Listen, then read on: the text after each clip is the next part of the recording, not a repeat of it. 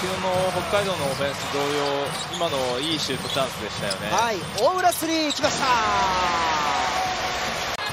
ヒット中に入れるハイローのプレーからヒットまた中に入っていきます。大浦オープン。2本目きました。タイムアウト北海道。あのオフェンスの中でここキット選手のところがミスマッチ生まれてるんですね、えー、でバスケットにカットしたところ大浦選手をマークしていく大浦今日スリーポイント2分の2ザックのスクリーンを使って大浦自分でフローター連続得点。ザックのスクリーン大浦キックは合わせにいった。うまくフォローしました。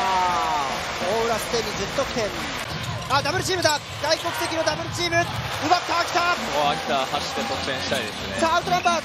大浦自分でいきます昨日も1本成功があった松下ですがさあ大浦中安岡合わせエドワード素晴らしいファストブレイクポイント決まりましたね。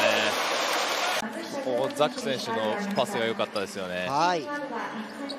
ザックのパスから5秒でもう一度クロック残り5秒です。回った大浦。3本目きました大浦。中山残すさあ北海道1人少ない。ヒットきたオフィシャルタイムアウト。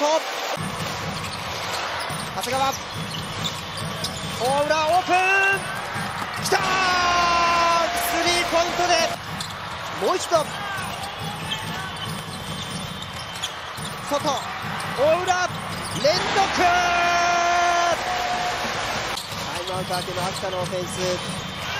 大浦ザック動いてきたザックエドワン。